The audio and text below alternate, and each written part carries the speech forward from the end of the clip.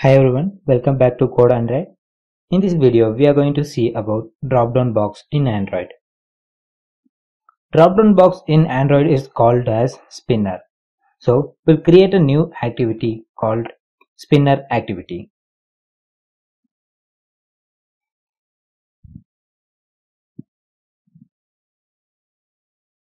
Don't forget to check launcher activity.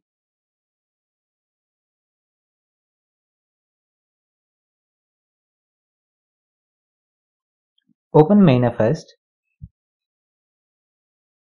Here you can see intent filter is available for more than one activity.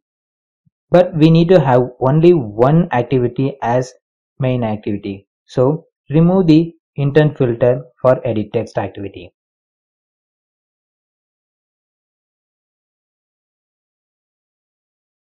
Go to the layout file and change the constraint layout to linear layout.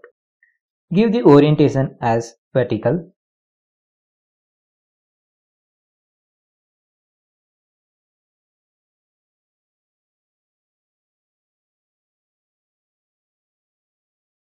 Create a view called spinner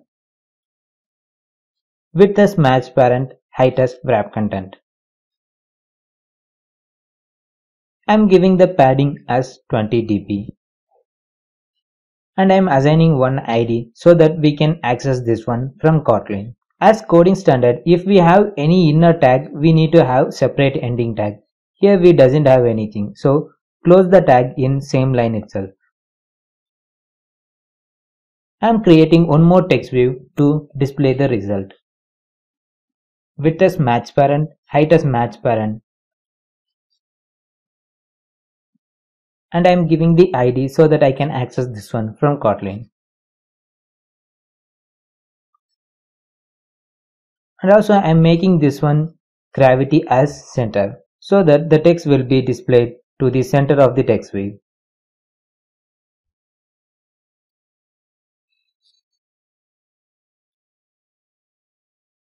Open the Kotlin file. Lateinit var option as spinner, lateinit var result as text view. Link all the variables to the appropriate views. Option to sp underscore option and result to tv underscore result. Now we need to create a listener for spinner. It's called on item selected listener. So we need to create a new listener object. So object on item click listener, open and close parenthesis, you will get an error in object. So click on the object, click on the symbol and import all the methods.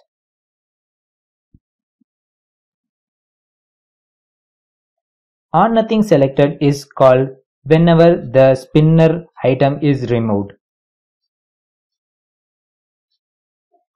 On item selected will be executed whenever a item has been changed in spinner. But we need some item to show in the spinner. So I am creating a string array variable options equal to array of option 1, option 2 and option 3. Now we need to create this one as an adapter so that we can set the adapter to the spinner option dot adapter equal to array adapter of string and we need to pass three parameters. Context as this and resource id I am giving as android.r.layout.simple list item 1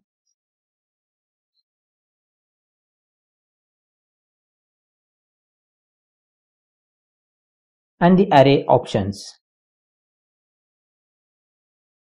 Kotlin is saying that we are not changing the option value.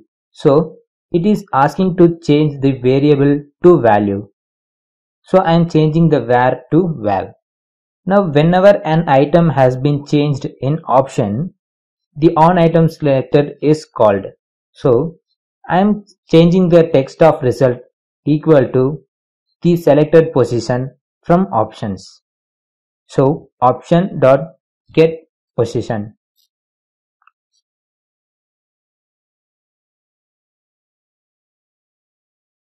Let's run this one.